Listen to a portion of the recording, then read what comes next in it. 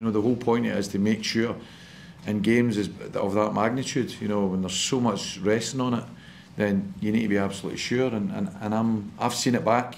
So I've had the benefit of seeing it back in the dressing room with my players, with all my players around it. And it's a handball that stops the ball, the path of the ball, giving us an opportunity to equalise in the game in the 87th minute. So why not take that opportunity when we've got the technology there? Why not do that? And again, I, I can only I know speaking with the referee, he can only speak about tonight, but in the context, I need to protect my football club because we've had five penalties against us in the last four games. And if you look at every one of them, I would probably say the Aberdeen one is a legitimate penalty. The rest of them I don't think are, and I think we've fell foul of that. And tonight, if it's a case of redressing the balance, that decision again doesn't go for us. So you know, we begin to question things, particularly when they came out after VAR and said there were three mistakes they made and two of them were against Dundee Football Club.